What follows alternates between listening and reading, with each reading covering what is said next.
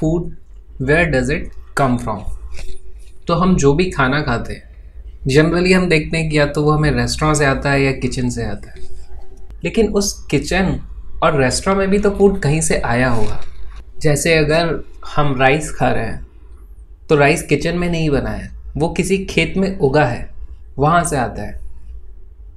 इस चैप्टर में हम यही पता लगाने की कोशिश करेंगे कि जो भी फ़ूड आइटम्स हम खाते हैं, उनके सोर्स क्या है। वो कहाँ से आते हैं?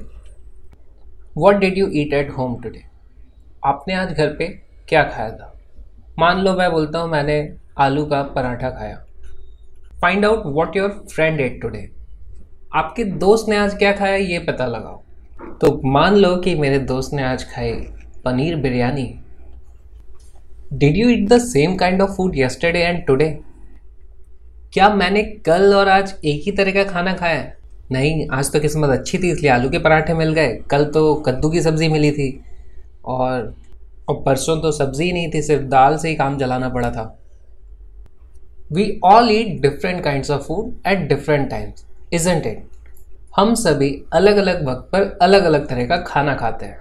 कभी हम आलू के पराठे खाते हैं, कभी कद्दू की सब्ज़ी खाते हैं, कभी दाल खाते हैं, कभी पनीर बिरयानी खाते हैं, कभी सैंडविच खाते हैं, कभी पिज़्ज़ा खाते हैं, और बहुत सारी वैरायटी है। फ़ूड वैरायटी वैरायटी यानी विविधता। खाने की चीज़ों की काफ़ी वैरायटी है। उसमें काफ़ी विविधता है। आपके पास खाने की चीज़ों के बहुत सारे ऑप्शंस हैं। Activity 1 Ask your friends in the school about the items they would be eating during a day school में अपने दोस्तों से पूछो कि वो दिन भर में क्या क्या चीज़ें खा रहे होंगे। See if you can also get this information from friends staying in different states of India और आपके कोई दोस्त अगर देश के दूसरे राज्यों में रह रहे हैं तो उनसे भी ये इन्फॉर्मेशन पता करने की कोशिश करो कि वो लोग दिन भर में क्या खाने वाले हैं। List all the items in your notebook as given in table 1.1 for as many friends as possible अपने सभी दोस्तों से पूछो और ये ये वाली टेबल को भरो। चलो मैं एक सैंपल भर देता हूँ। पहला दोस्त हुआ किट्टू। किट्टू ने क्या खाया? पराठा खाया। और क्या खाया? किट्टू ने दही खाया। बिट्टू ने इडली खाई। इस तरीके से आप टेबल को भरो। ओह, कुछ लोगों ने मछली भी खाई है। दीप्तेंदु ने खाई फ़िश। तो जब आप अपने दोस्तों से पूछोगे तो आपको पता चलेगा कि हमारे पास खाने की बहुत सारे ऑप्शंस हैं, बहुत सारी वैरायटी है। खाने की बहुत सारी चीज़ें। There seems to be so much variety in the food that we eat हमारे खाने की चीज़ों में बहुत ज़्यादा वेराइटी है। What are these food items made of ये सभी फ़ूड आइटम्स क्या चीज़ के बने हुए think about rice cooked at home अब उस चावल के बारे में सोचो जो कि घर में बना है। We take raw rice and boil it in water हम लोग कच्चे चावल लेते हैं और उसे पानी में उबालते हैं। जस्ट टू मटेरियल्स और ingredients are needed to prepare a dish of boiled rice boiled rice बनाने के लिए हमें सिर्फ़ दो चीज़ें या सामग्री की ज़रूरत पड़ती है। यहाँ पर एक इंपॉर्टेंट वर्ड है इंग्रेडिएंट्स यानी कि सामग्री। किसी भी चीज़ को बनाने के लिए उसके अंदर क्या सामग्री लगाई गई है, वो होते हैं इंग्रेडिएंट्स जैसे बॉइल्ड राइस के इंग्रेडिएंट्स हैं वाटर एंड रॉ राइस तो यहाँ पे वाटर और रॉ राइस दो फ़ूड इंग्रेडिएंट्स हो गए।